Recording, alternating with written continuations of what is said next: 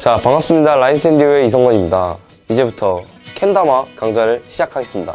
자, 우선 오늘 배울 기술은 큰 컵, 빅컵이라고 하죠. 일단 제가 먼저 해보겠습니다.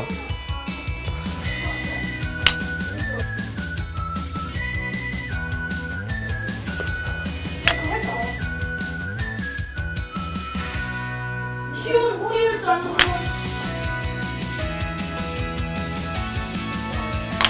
자, 이 기술은 B컵인데요. 자, 우선 캔다마를 할 때는 항상 팁이 있습니다. 자세가 중요한데요. 우선 공이 내려갈 때 무릎을 구부려줘요.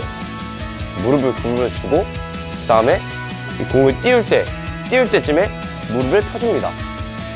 그리고 공이 내려갈 때이 캔을 이 공 아래로 내려놔요. 자, 이렇게 하면은, 자, 이 공과 이 무릎과 같이 움직여줘야 됩니다.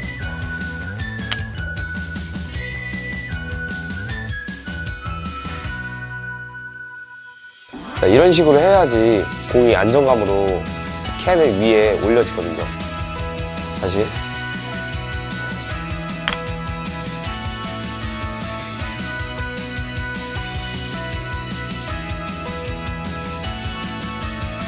자, 어느 기술을 할 때든 공과 무릎과 함께 움직여줘야 됩니다. 자, 뭐 이런 기술 같은 경우에도 자, 무릎을 항상 움직여줘야 돼요. 자, 이래서 캔다마가 다이어트에 잘 됩니다. 다이어트 하고 싶은 분들 캔다마 하세요.